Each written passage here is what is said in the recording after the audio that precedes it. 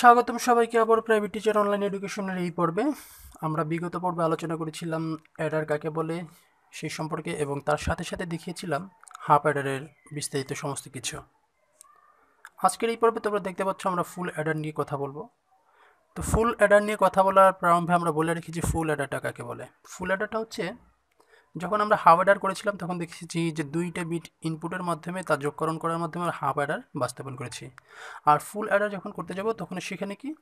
যে ফুল অ্যাডার হলো এমন একটি সমবায় সার্কিট যা কিনা একটি কেরি ও দুটি সংখ্যা বিট সহ মোট তিন বিট যোগ করলে সেই যোগফল ও হাতে থাকা সংখ্যা বিট সহ যে কেরি বিট পাবে, এইটাকে মূলত ফুল অ্যাড বলা হবে।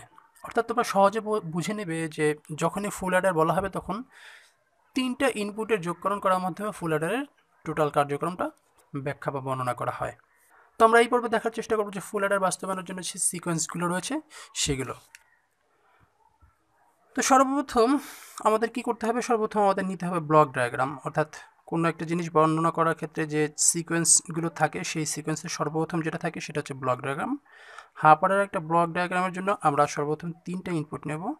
আমরা তিনটা ইনপুট নিলাম এবং আউটপুট বরাবরের মতো একই রকম, যে আউটপুট থাকবে দুইটা। আউটপুট কেন দুটো থাকবে? কারণ হচ্ছে আমরা যাবতীয় সমস্ত কিছু যোগকরণ করার মাধ্যমে করি। আর যখন কোনো একটা ভ্যালু অর্থাৎ বাইনারিতে যোগকরণ করা হয়, দুইটা মাত্র ভ্যালু পাওয়া যায়। একটা হচ্ছে সামবিট এবং আর একটা হচ্ছে ক্যারিবিট তো সের জন্য আমরা আউটপুট অংশে লিখলাম সামবিট ফর সে এস এবং ক্যারিবিট ফর সি এবং ইনপুটগুলো তুমি X Y Z A B C তোমার যেরকম ইচ্ছা তুমি তেমন নিতে পারো। তো আমরা এখানে নিলাম এক্স ওয়াই এবং জেড নিলাম। তো এটা একটা ফুল অর্ডার আমরা এখানে নামকরণ করলাম। F for full and A for adder full adder তো এটা হচ্ছে ফুল অ্যাডার একটা ব্লক ডায়াগ্রাম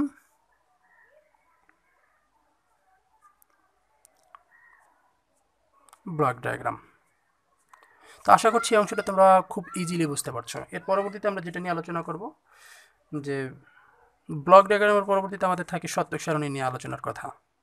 তো এখানে আমরা লিখব সত্যক সারণী।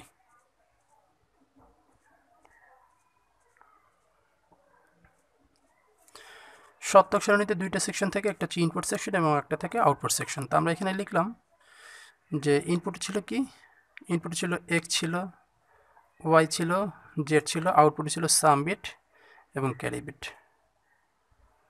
তা আমরা এখানে লিখলাম এভাবে। একটা কথা বলে রাখি, যখন ইনপুটের তিনটা বিট থাকে, তখন ইনপুটের টোটাল আউটপুট কতটি আসে সেটা কীভাবে বের করতে হয়, আমরা আগেও দেখেছি, এই মুহূর্তে আবার দেখে রেখে যে ইনপুট যদি হয় দুইটি, তাহলে আউটপুট হবে টু টু দি পাওয়ার এনটি অর্থাৎ two power three equal eighty তার মানে আমরা এই বরাবর আটটা বিট লিখব। তো তিন বিটে যদি আটটা সংখ্যা আমাদের লিখতে হয়, তাহলে কী করতে হয়? যে zero zero zero zero sorry, এই জিরোটা এখান থেকে তোমরা হাইড করে দেবে যে X for zero Y for zero এবং জেড ফর জিরো তার পরবর্তীতে ওয়ানকে যদি তিন বিটে বাস্তবায়ন করতে চাই, তাহলে জিরো জিরো ওয়ান যদি টুকে তিন বিটে বাস্তবায়ন করতে চাই, তাহলে জিরো ওয়ান জিরো থ্রিকে বাস্তবায়ন করতে গেলে জিরো ওয়ান ওয়ান ফোরকে বাস্তবায়ন করতে গেলে ওয়ান জিরো জিরো ফাইভকে বাস্তবায়ন করতে গেলে ওয়ান জিরো ওয়ান সিক্সকে ওয়ান ওয়ান জিরো সেভেনকে ওয়ান ওয়ান ওয়ান তো এই তিন বিটেই আটটার উপরে কিন্তু আমরা লিখতে পারি না।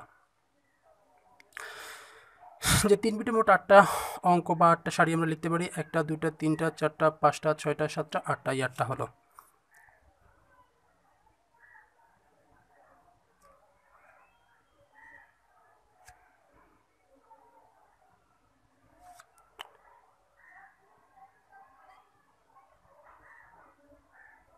তো এটা ছিল ইনপুট সেকশন আমরা লিখে রাখি ইনপুট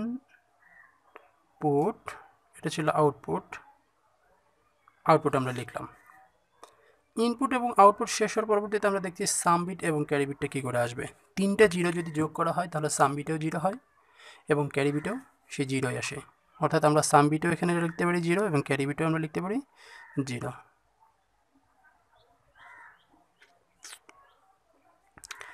এর পরবর্তী যেটা রয়েছে জিরো জিরো ওয়ান, যদি সেটাকে আমরা যোগ করি, তাহলে সামবিটে কী আসে? ক্যারিবিটে কী আসে? সেই জিনিসটা আমরা দেখব।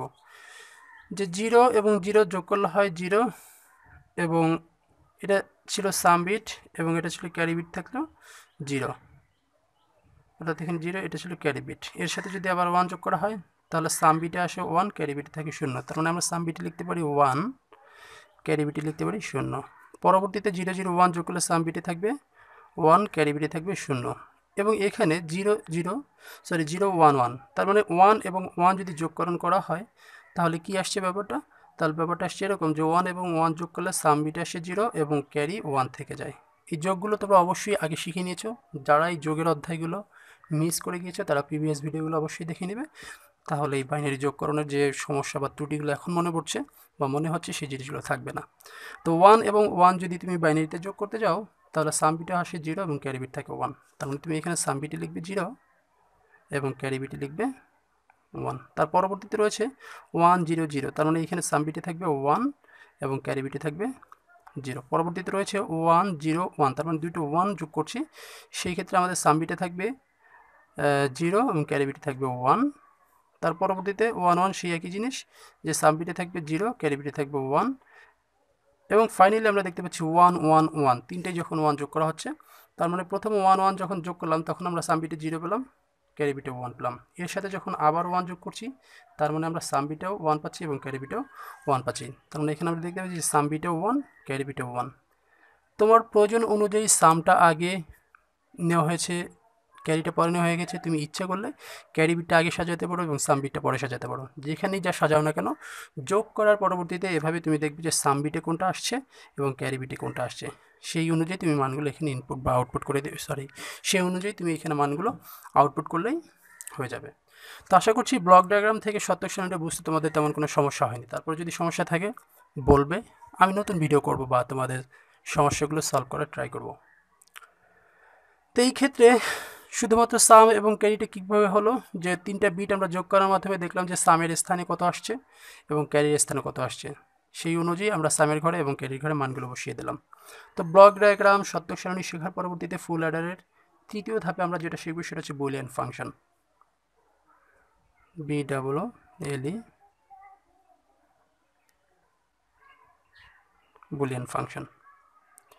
Boolean function করতে গেলে আমরা জানতাম যে আউটপুটের উপর ভিত্তি করে একটা ফাংশন জেনারেট করতে হয়। তাহলে এখানে আউটপুট আছে এস মানে সাম এবং ক্যারি ফর সি তার মানে আমরা এখানে আউটপুট নিলাম সামের একটা ফাংশন এবং ক্যারির একটা ফাংশন তাহলে সামের ফাংশনটা কি হবে? সামের ফাংশনটা এভাবে কাউন্ট করব যে যে অংশে, অর্থাৎ এন ক্যাডার অনুযায়ী যে যে অংশে ওয়ানগুলো ছিল ওয়ানের প্রত্যেকটা ভ্যালুর আমরা অর করব এবং সেই অনুযায়ী রোতে যেখানে যেখানে ওয়ান রয়েছে বা ট্রু বা ফলস ভ্যালুগুলো রয়েছে সেগুলো অ্যাড করব। আমি বুঝিয়ে বলছি আবারও। সাপোজ তুমি এখানে এস এর ফাংশনটা লিখতে যাচ্ছ। তো এস এর ঘরে এই কলমের প্রথম ওয়ান যেখানে পাচ্ছ, সেই অনুযায়ী এই রোটা তুমি দেখবে। এই রোটা দেখতে গিয়ে তুমি দেখতে পাচ্ছ যেখানে এক্সের ভ্যালুটার ফলস আছে ওয়াইয়ের ভ্যালুটা ফলস আছে এবং জেডের ভ্যালুটা ট্রু রয়েছে। তার মানে এক্স জিরো ওয়াই জিরো এবং Z one one means true value এবং zero means false value zero মানে কমপ্লিমেন্ট আর ওয়ান মানে সেই জিনিসটা ট্রু তার মানে তুমি এখানে লিখতে পারছ যে এক্স কমপ্লিমেন্ট ওয়াই কমপ্লিমেন্ট এবং জেড তার মানে এস এর যে প্রথম ওয়ান এই ওয়ানের জন্য টোটাল ভ্যালুটা আসছে রো এর জন্য আমরা অ্যান্ড করব এই তিনটে ভ্যালু কাকে কে অ্যান্ড করছি? আমরা এক্স কমপ্লিমেন্টকে অ্যান্ড করছি, আমরা ওয়াই কমপ্লিমেন্টকে অ্যান্ড করছি এবং জেডকে অ্যান্ড করছি। এই তিনটে আমাদের অ্যান্ড হয়ে গেল। এর পরবর্তীতে আমরা দেখছি আরও একটি ওয়ান রয়েছে, কলম বরাবর, সেহেতু আমরা এখানে অর করলাম। এই অর করার পরবর্তীতে আমরা এই রো বরাবর দেখতে পাচ্ছি যে এক্সটাকে ফলস ভ্যালু রয়েছে জেডটা ফলস ভ্যালু রয়েছে এবং ওয়াইটা তার ট্রু ভ্যালুতে রয়েছে। তার মানে এখানে লিখতে পারি যে এক্স কমপ্লিমেন্ট ওয়াই এবং জেড কমপ্লিমেন্ট তো এখানে লিখতে পারি এক্স কমপ্লিমেন্ট ওয়াই এবং জেড কমপ্লিমেন্ট এর পরবর্তীতে এস লাইনে দেখতে পাচ্ছি এখানে আরও একটি ওয়ান রয়েছে, সেহেতু এখানে আমরা আরও একটা অর গেট নিব বা অর প্লাস নিলাম।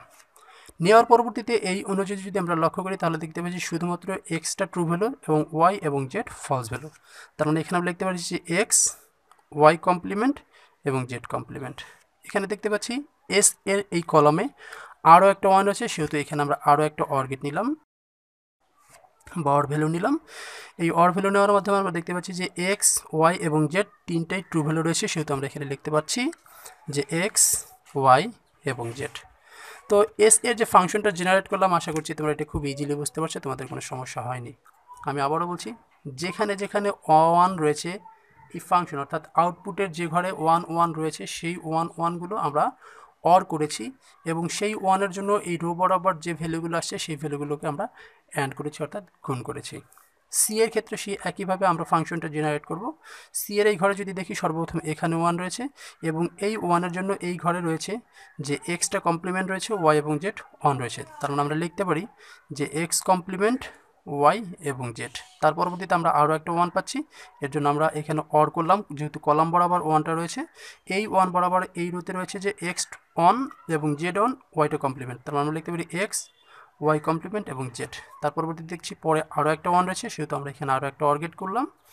এই অর্গেট করার পরবর্তীতে আমরা দেখতে পাচ্ছি এখানে এক্সটা ট্রু ভ্যালু রয়েছে ওয়াইটা ট্রু ভ্যালু রয়েছে এবং জেডটা কিন্তু কমপ্লিমেন্ট ভ্যালু রয়েছে। তার মানে আমরা এখানে সেই একই জিনিস লিখতে পারি এক্স ওয়াই এবং Z complement and then finally এখানে দেখতে পাচ্ছি আরও একটা ওয়ান সেহেতু আমরা এখানে আরও একটা অর নিলাম। অর মানে প্লাস নিলাম। এই প্লাস নেওয়ার পরবর্তী দেখতে পাচ্ছি যে এক্স ওয়াই এবং জেড তিনটাই অন ভ্যালু অর্থাৎ এক্সেও অন জেড অন ওয়াইও অন এক্স ওয়াই জেড তিনটাই অন অর্থাৎ ওয়ান রয়েছে। সেহেতু আমরা এখানে লিখতে পারি এক্স ওয়াই এবং জেড তো বুলিয়ান যে ফাংশনটা এস ফর সাম এবং সি ফর ক্যারি এই জিনিসটা তোমরা ইজিলি বুঝতে পারলে যে তিন ইনপুট বিশিষ্ট ফুল অ্যাডারের জন্য। যে সত্যক সারণী ছিল, তারপর ব্লক ডায়াগ্রাম ছিল, সেই অনুযায়ী যে বুলিয়ান ফাংশনটা লেখা হলো, সেই জিনিসটা তোমরা ইজিলি বুঝতে পারলে। তো আশা করছি এই পর্যন্ত তোমরা খুব ইজিলি বুঝতে পারছ। আমরা পরের যে ভিডিওটা রয়েছে, সেখানে আমরা দেখানোর চেষ্টা করব যে বুলিয়ান ফাংশন থেকে কি করে এখান থেকে একটা লজিক সার্কিট অঙ্কন করতে হয় এবং এটাও দেখানোর চেষ্টা করব যে ফুল অ্যাডারের মাধ্যমে কীভাবে হাফ অ্যাডার করা যায়। অর্থাৎ দুটো হাফ অ্যাডার মিলে কী করে একটা ফুল অ্যাডার হতে পারে বা ফুল অ্যাডারের মাধ্যমে হাফ অ্যাডার কীভাবে বিদ্যমান থাকে সেই জিনিসটা আমরা দেখানোর চেষ্টা করব।